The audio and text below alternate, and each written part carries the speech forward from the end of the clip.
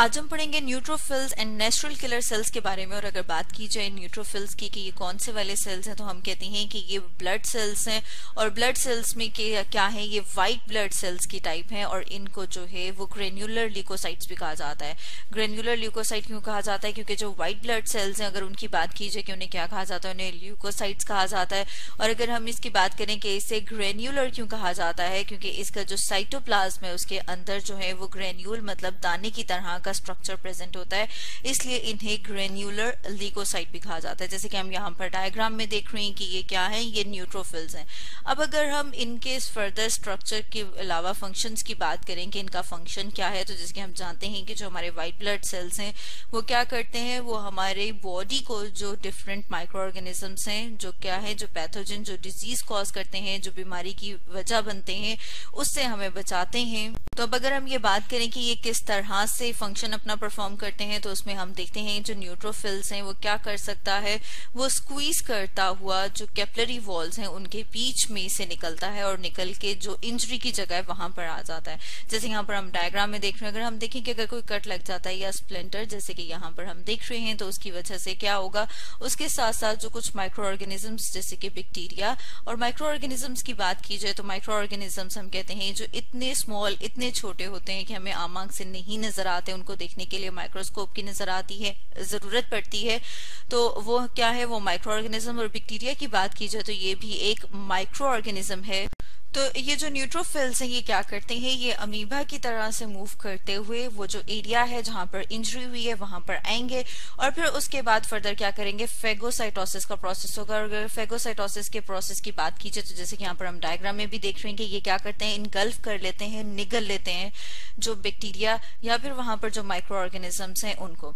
इसके अलावा हम देखते हैं कि जो न्यूट्रोफिल्स हैं, ये क्या करते हैं? ये लाइजोजाइम्स जो है, वो सिक्रीट करते हैं। और लाइजोजाइम्स क्या है? ये इंजाइम्स हैं। जो फर्दर क्या करता है, जो माइक्रो ऑर्गेनिजम्स को किल कर देता है मतलब ये कि उसको खत्म कर देता है।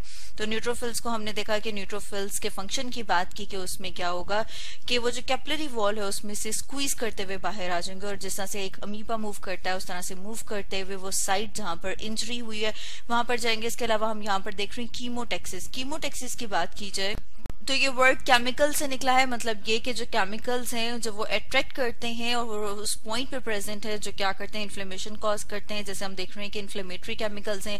इन्फ्लेमेटरी केमिकल्स जो हैं, वो भी न्यूट्रोफिल्स को अट्रैक्ट करते हैं। इसके अलावा हम देख रहे हैं डायबिडेसिस डायबिडेसिस की बात की जाए तो ये मूवमेंट ऑफ़ ब्लड सेल्स को कहा जाता है।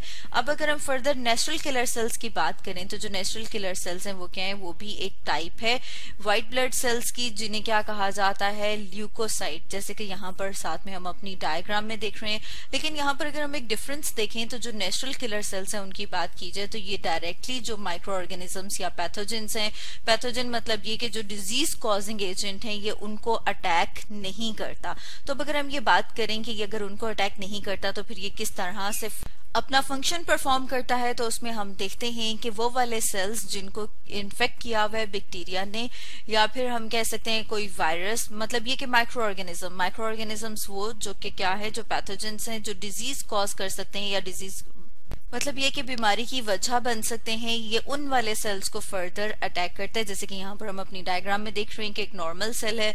नॉर्मल सेल के साथ जब एन के मतलब ये कि जो नेचुरल किलर सेल है, जब वो अटैच होता है तो वो रिकग्नाइज करता है उसको एज अ सेल्फ क्योंकि जो नॉर्मल सेल है उसके ऊपर, उसकी सरफेस के ऊपर स्पेशल किस्म के रिसेप्टर्स प्रेजेंट हैं, जैसे कि यहाँ पर हम देख रहे हैं एम एच सी वन और अगर ये उसके पास प्रेजेंट है तो फिर वो क्या करेगा? फिर वो फर्दर अपना फ़ंक्शन जो है वो परफॉर्म करेगा। मतलब ये कि इसको अटैक नहीं करेगा।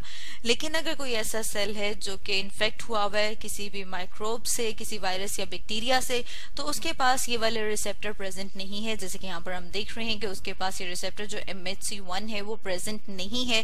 अब जब नेचुरल किलर सेल इसके साथ अटैच होगा तो वो इसको रिकोगनाइज करेगा। इसकी, जैसे कि यहाँ पर हम देख रहे हैं कि सर्फिस रिसेप्टर्स जो है on the natural killer cells वो रिकोगनाइज करते हैं the features on the surface of the target जैसे कि यहाँ पर हम देख रहे हैं, जब वो उसको रिकोगनाइज करेगा तो रिकोगनाइज करने के बाद वो अपने आप को जब उसके साथ अटैच कर लेता है अटैच करने के बाद वो स्पेशल किस्म के केमिकल्स रिलीज़ करता है, जैसे कि हम यहाँ पर देख रहे हैं कि साइटोटॉक्सिक ग्रेन्यूल्स जो है उसने रिलीज़ किए हैं, जो फर्दर क्या करेंगे, जो उस सेल को डिस्ट्रॉय कर देंगे मतलब ये कि उस सेल की डेथ हो जाएगी। अगर हम फर्दर और डिटेल में देखें कि नेचुरल किलर सेल्स जो है, वो किस तरह से अपना फ़ंक्शन परफॉर्म करते हैं तो उसके लिए साथ में हम एक और डायग्राम डायग्राम में देख रहे हैं कि जो नेचुरल किलर सेल्स हैं, उनके पास स्पेशल टाइप की प्रोटीन होती है, जैसे कि हम यहाँ पर देख रहे हैं परफोरिन परफोरिन क्या करती है? परफोरिन जो है, वो एक होल क्रिएट करती है, जो एनिमी सेल है, या फिर हम कह सकते हैं कि जो टारगेट सेल है, उसकी मेम्ब्रेन में।